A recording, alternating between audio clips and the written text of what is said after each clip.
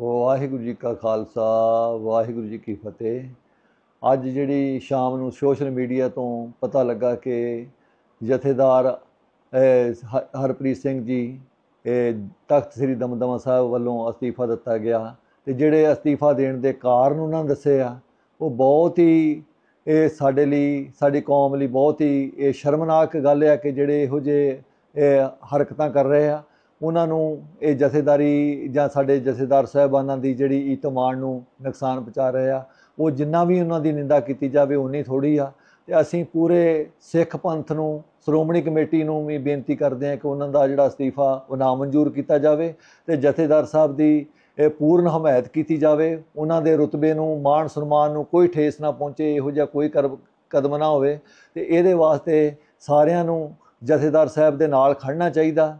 ਤੇ ਉਹਨਾਂ ਨੂੰ ਉਹਨਾਂ ਦੀ ਇਸ ਮੌਕੇ ਤੇ ਪੂਰੀ ਹਮਾਇਤ ਕਰਨੀ ਚਾਹੀਦੀ ਹੈ ਜਿਹੜੇ ਉਹਨਾਂ ਦੇ ਪਰਿਵਾਰ ਨੂੰ ਇਹ ਪੂਰੀ ਸੁਰੱਖਿਆ ਜਾਂ ਸਾਰੀਆਂ ਚੀਜ਼ਾਂ ਦਾ ਧਿਆਨ ਰੱਖਣਾ ਚਾਹੀਦਾ। ਸ਼੍ਰੋਮਣੀ ਕਮੇਟੀ ਨੂੰ ਅਸੀਂ ਅਪੀਲ ਕਰਦੇ ਹਾਂ ਕਿ ਉਹਨਾਂ ਦੇ ਪਰਿਵਾਰ ਨੂੰ ਜਾਂ ਕਿਸੇ ਵੀ ਜੀ ਨੂੰ ਕੋਈ ਇਹੋ ਜਿਹਾ ਇਹੋ ਜਿਹੇ ਗਲਤ ਅਨਸਰ ਕੋਈ ਨੁਕਸਾਨ ਨਾ ਪਹੁੰਚਾ ਸਕਣ ਤੇ ਤੁਸੀਂ ਉਹਨਾਂ ਦਾ ਖਿਆਲ ਰੱਖੋ ਤੇ ਬਾਕੀ ਸਾਰੇ ਸਿੱਖ ਪੰਥ ਨੂੰ ਕਿ ਜਥੇਦਾਰ ਸਾਹਿਬ, ਸਾਹਿਬਾਨ ਦੇ ਨਾਲ ਖੜੇ ਹੋ ਤੇ ਆਪਣੇ ਤਖਤਾਂ ਦੀ ਜਿਹੜੀ ਮਾਣ ਮਰਿਆਦਾ ਨੂੰ ਸ਼ਾਨ ਸ਼ਾਨ ਨੂੰ ਬਾਹਰ ਰੱਖਿਆ ਜਾ ਸਕੇ। ਵਾਹਿਗੁਰੂ ਜੀ ਕਾ ਖਾਲਸਾ, ਵਾਹਿਗੁਰੂ ਜੀ ਕੀ ਫਤਿਹ।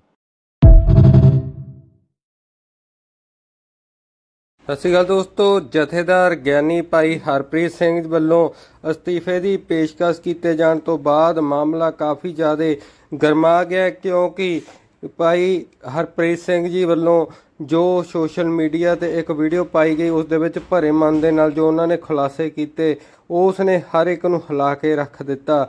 ਜਿਸ ਤੋਂ ਬਾਅਦ ਕਿ ਹੁਣ ਭਾਈ ਅਮਰਤਪਾਲ ਸਿੰਘ ਦੀ ਟੀਮ ਵੱਲੋਂ, ਉਹਨਾਂ ਦੇ ਪਿਤਾ ਜੀ ਵੱਲੋਂ ਜਥੇਦਾਰ ਗਿਆਨੀ ਭਾਈ ਹਰਪ੍ਰੀਤ ਸਿੰਘ ਜੀ ਦੇ ਹੱਕ ਦੇ ਵਿੱਚ ਜਿੱਥੇ ਹਾਂ ਦਾ ਨਾਰਾ ਮਾਰਿਆ ਗਿਆ, ਉੱਥੇ ਹੀ ਬਿਰਸਾ ਸਿੰਘ ਬਲਟੋਹਾ ਦੇ ਖਿਲਾਫ ਵੀ ਵੱਡਾ ਐਲਾਨ ਕਰ ਦਿੱਤਾ ਗਿਆ। ਕਿਉਂਕਿ ਜਥੇਦਾਰ ਗਿਆਨੀ ਹਰਪ੍ਰੀਤ ਸਿੰਘ ਜੀ ਵੱਲੋਂ ਜੋ ਅਸਤੀਫੇ ਦੀ ਗੱਲ ਕੀਤੀ ਗਈ ਹੈ, ਉਸ ਤੋਂ ਬਾਅਦ ਸ੍ਰੀ ਅਕਾਲ ਤਖਤ ਸਾਹਿਬ ਦੇ ਜਥੇਦਾਰ ਗਿਆਨੀ ਰਗਵੀਰ ਸਿੰਘ ਜੀ ਵੱਲੋਂ ਵੀ ਇਹ ਐਲਾਨ ਕੀਤਾ ਗਿਆ ਹੈ ਕਿ ਜੇਕਰ ਜਥੇਦਾਰ ਗਿਆਨੀ ਭਾਈ ਹਰਪ੍ਰੀਤ ਸਿੰਘ ਜੀ ਦਾ ਅਸਤੀਫਾ ਮਨਜ਼ੂਰ ਕੀਤਾ ਜਾਂਦਾ ਹੈ, ਤਾਂ ਸਾਰੇ ਹੀ ਤਖਤਾਂ ਦੇ ਜਥੇਦਾਰ ਸਹਿਬਾਨ ਸਮੂਹਿਕ ਤੌਰ ਤੇ ਅਸਤੀਫੇ ਦੇ ਦੇਣਗੇ। ਸੋ ਤੁਹਾਡਾ ਕੀ ਕਹਿਣਾ ਇਸ ਮਾਮਲੇ ਤੇ? ਕੀ ਤੁਹਾਨੂੰ ਲੱਗਦਾ ਹੈ ਕਿ ਬਿਰਸਾ ਸਿੰਘ ਬਲਟੋਹਾ ਤੇ ਹੋਰ ਵੀ ਸਖਤ ਕਾਰਵਾਈ ਹੋਣੀ ਚਾਹੀਦੀ ਹੈ?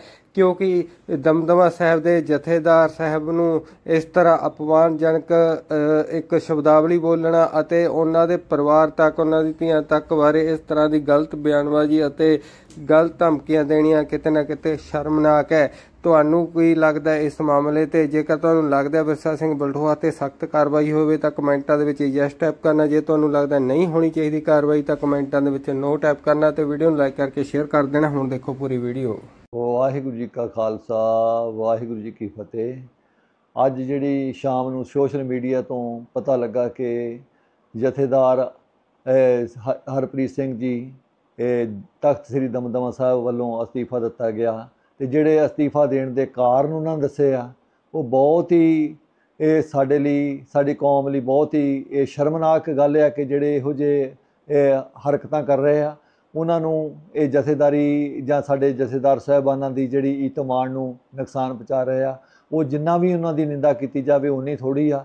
ਤੇ ਅਸੀਂ ਪੂਰੇ ਸਿੱਖ ਪੰਥ ਨੂੰ, ਸ਼੍ਰੋਮਣੀ ਕਮੇਟੀ ਨੂੰ ਵੀ ਬੇਨਤੀ ਕਰਦੇ ਹਾਂ ਕਿ ਉਹਨਾਂ ਦਾ ਜਿਹੜਾ ਅਸਤੀਫਾ ਉਹ ਨਾ ਮਨਜ਼ੂਰ ਕੀਤਾ ਜਾਵੇ ਤੇ ਜਥੇਦਾਰ ਸਾਹਿਬ ਦੀ ਇਹ ਪੂਰਨ ਹਮਾਇਤ ਕੀਤੀ ਜਾਵੇ। ਉਹਨਾਂ ਦੇ ਰੁਤਬੇ ਨੂੰ, ਮਾਣ ਸਨਮਾਨ ਨੂੰ ਕੋਈ ਠੇਸ ਨਾ ਪਹੁੰਚੇ, ਇਹੋ ਜਿਹਾ ਕੋਈ ਕਰ- ਕਦਮ ਨਾ ਹੋਵੇ। ਤੇ ਇਹਦੇ ਵਾਸਤੇ ਸਾਰਿਆਂ ਨੂੰ ਜਥੇਦਾਰ ਸਾਹਿਬ ਦੇ ਨਾਲ ਖੜਨਾ ਚਾਹੀਦਾ। ਤੇ ਉਹਨਾਂ ਨੂੰ ਉਹਨਾਂ ਦੀ ਇਸ ਮੌਕੇ ਤੇ ਪੂਰੀ ਹਮਾਇਤ ਕਰਨੀ ਚਾਹੀਦੀ ਹੈ, ਜਿਹੜੇ ਉਹਨਾਂ ਦੇ ਪਰਿਵਾਰ ਨੂੰ ਇਹ ਪੂਰੀ ਸੁਰੱਖਿਆ ਜਾਂ ਸਾਰੀਆਂ ਚੀਜ਼ਾਂ ਦਾ ਧਿਆਨ ਰੱਖਣਾ ਚਾਹੀਦਾ। ਸ਼੍ਰੋਮਣੀ ਕਮੇਟੀ ਨੂੰ ਅਸੀਂ ਅਪੀਲ ਕਰਦੇ ਹਾਂ ਕਿ ਉਹਨਾਂ ਦੇ ਪਰਿਵਾਰ ਨੂੰ ਜਾਂ ਕਿਸੇ ਵੀ ਜੀ ਨੂੰ ਕੋਈ ਇਹੋ ਜਿਹਾ ਇਹੋ ਜਿਹੇ ਗਲਤ ਅਨਸਰ ਕੋਈ ਨੁਕਸਾਨ ਨਾ ਪਹੁੰਚਾ ਸਕਣ ਤੇ ਤੁਸੀਂ ਇਸ- ਉਹਨਾਂ ਦਾ ਖਿਆਲ ਰੱਖੋ ਤੇ ਬਾਕੀ ਸਾਰੇ ਸਿੱਖ ਪੰਥ ਨੂੰ ਕਿ ਜਥੇਦਾਰ ਸਾਹਿਬ, ਸਾਹਿਬਾਨ ਦੇ ਨਾਲ ਖੜੇ ਹੋ ਤੇ ਆਪਣੇ ਤਖਤਾਂ ਦੀ ਜਿਹੜੀ ਮਾਣ ਮਰਿਆਦਾ ਨੂੰ ਸ਼ਾਨ ਸ਼ਾਨ ਨੂੰ ਬਾਹਰ ਰੱਖਿਆ ਜਾ ਸਕੇ। ਵਾਹਿਗੁਰੂ ਜੀ ਕਾ ਖਾਲਸਾ, ਵਾਹਿਗੁਰੂ ਜੀ ਕੀ ਫਤਿਹ।